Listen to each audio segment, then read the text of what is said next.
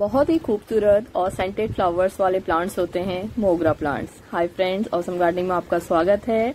और आज बात करेंगे कि मोगरा प्लांट से हम ज़्यादा से ज़्यादा फ्लावरिंग कैसे ले सकते हैं। इसकी केयर टिप्स के केयर टिप्स पे बात करेंगे और इन्हें जैस्मिन प्लांट्स भी बोला जाता है। मोगरा प्लांट्स बोलिए या जैस्मिन प्लांट्स बोले काफ़ी सारी वैरायटीज इन प्लांट्स की देखने को मिलती हैं, लेकिन जो मोस्ट कॉमन वराइटीज़ होती हैं, ये दोनों जो मेरे पास रखी हुई हैं, आप देख सकते हैं। एक ये प्लांट है जिसमें स्टार शेप के फ्लावर्स आपको दिख रहे हैं और जब इसमें बर्ड्स आती हैं पॉइंटेड शेप की आती है।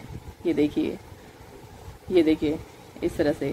और जब बहुत ज़्यादा फ्लावरिंग इस प्लांट में होती है, इस तरह से इसकी टहनियाँ ब्रांचेज झुक जाती हैं, क्योंकि थोड़ा डेलिकेट सा प्लांट होता है ये, और स्टिक लगा के इसको सपोर्ट देना पड़ता है बाद में, अगर जब इसकी ब्रांचेस ज़्यादा हो जाता है, ज़्यादा घना प्लांट हो जाता है।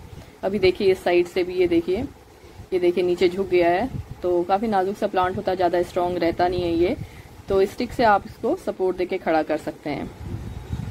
और एक दूसरी वैरायटी है वैरायटी है मेरे पास, मोगरा की, ये देखिए ये वाली।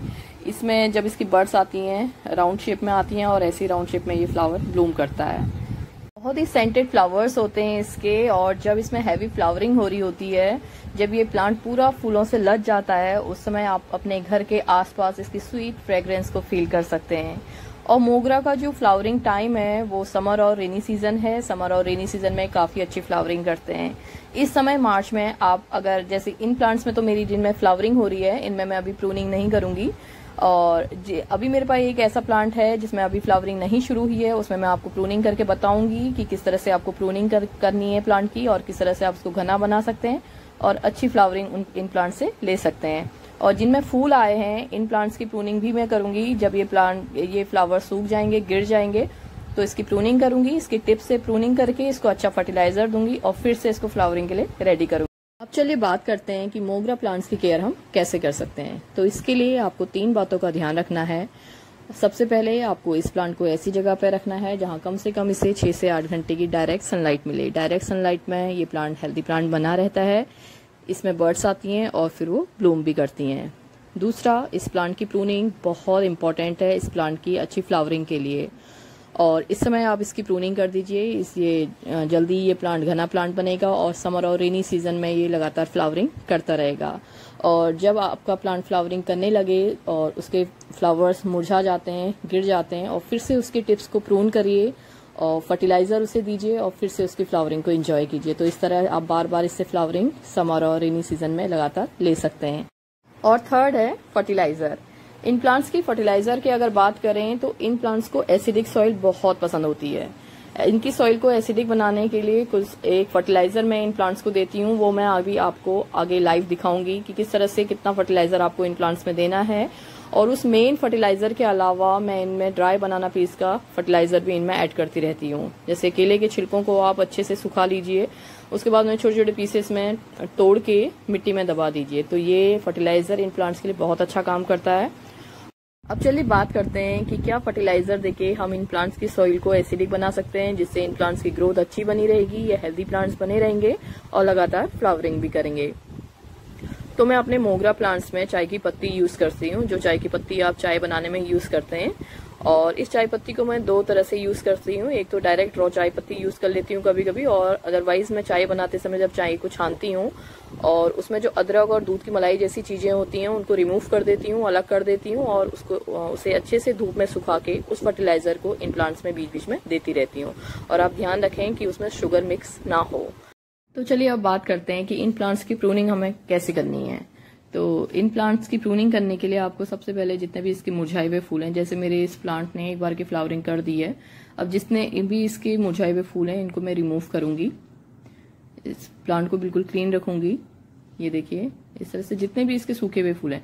आपके प्लांट ने अगर अभी फ्लावरिंग नहीं की है, आगे जब वो फ्लावरिंग करेगा और उसके फूल सूखेंगे तो इसी तरह से बीच बीच में आपको उनके सूखे हुए फूलों को निकालते रहना है बीच में। उसकी, फिर मिट्टी की गुड़ाई करनी है, उसे अच्छा फर्टिलाइज़र देना है और फिर से उसको फ्लावरिंग के लिए रेडी करना है।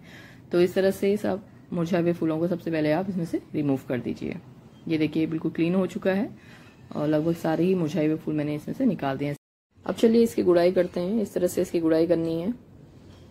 सूखे हुए फूलों को सबसे पहले निकालना है, उसके बाद इसकी अच्छे से गुड़ाई करनी है और जितना भी इसमें ऊपर जो जो मुरझाए हुए फूल गिरे हैं, इन सबको हम रिमूव करेंगे, अच्छे से पॉट को एकदम क्लीन रखेंगे। तो अच्छे से इसकी गुड़ाई कर लेनी है और ध्यान रखना है, कोई भी रूट्स इसमें डैमेज ना हो, ज़्यादा गहराई में जाके गुड़ाई नहीं करनी है, ऊपर कम से कम एक इंच तक आप गुड़ाई करिए, इसके लिए काफ़ी।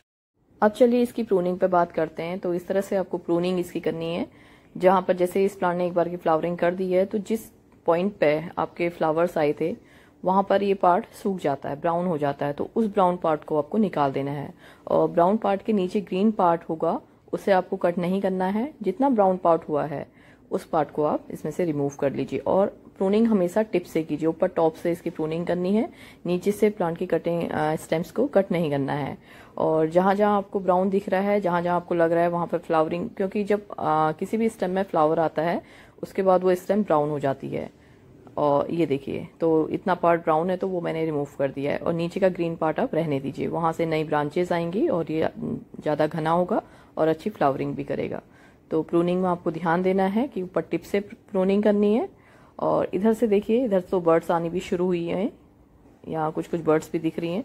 तो यहाँ पर आप प्रूनिंग मत कीजिए। ऐसे पार्ट्स को रिमूव मत करिए, जहाँ बर्ड्स आ रही हैं। तो प्रूनिंग वहाँ करनी है, जहाँ कुछ भी वेस्ट आपको पार्ट दिख रहा है, कहीं पर ब्राउन पार्ट दिख रहा है और नीचे भी स्टेम्स कभी कभी इसकी ब्राउन हो जाती हैं, वो पार्ट भी आप इसमें से रिमूव कर सकते हैं।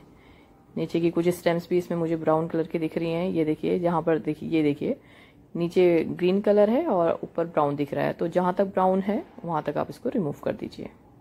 तो इस तरह से इसकी प्रूनिंग और ध्यान रखें कि जिस सीजर्स को आप प्रूनिंग के लिए यूज़ करें, उसे हमेशा यूज़ करने से पहले सैनिटाइज कर लें। क्योंकि अगर आपने कभी सीजर्स को इन्फेक्टेड प्लांट में यूज़ किया होगा तो वो इन्फेक्शन इस प्लांट में आ सकता है और अचानक प्लांट्स डैमेज हो जाते हैं और पता भी नहीं चलता है। तो हमेशा प्रूनिंग करने से पहले जिस सीजर्स को आप यूज़ कर रहे हैं, उसे सैनिटाइज कर लें अच्छे से।